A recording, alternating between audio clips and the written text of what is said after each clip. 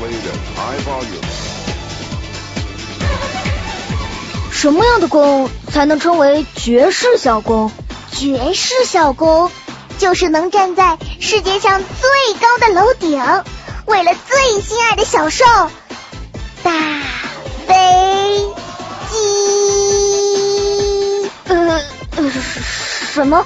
呃，风太大，我听不清楚了。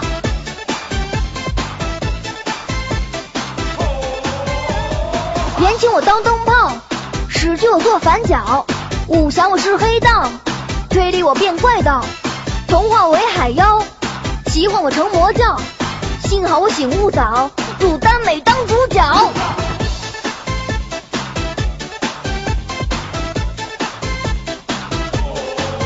都说耽美深似海，一跳进来全遇害。虽然我不高又不帅，紧要关头还有点坏。留起忙来耍无赖，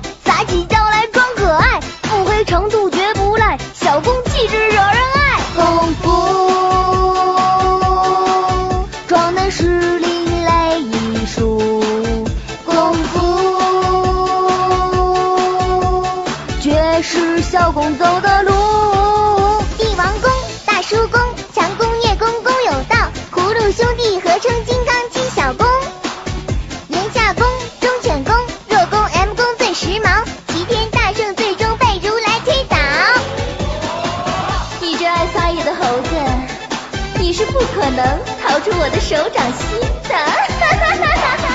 呃，观音姐姐，您走错了，不然我中春药，必然是没解药。偶然小兽来调笑，竟然春意满屋叫。绝世小兽既出手，绝世小公怎罢手？好兽起飞天天有，好不自然来等候。功夫，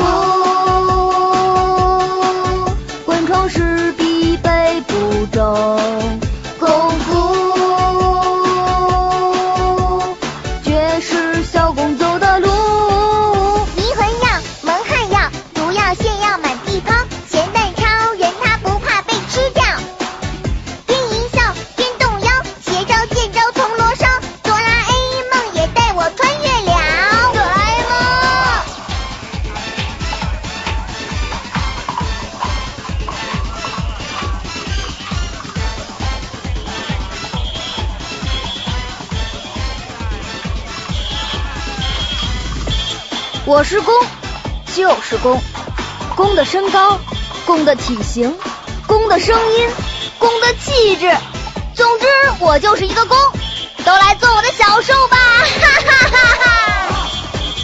人之初，性本公，不教不学不上道，三字经曰小兽都为我倾倒。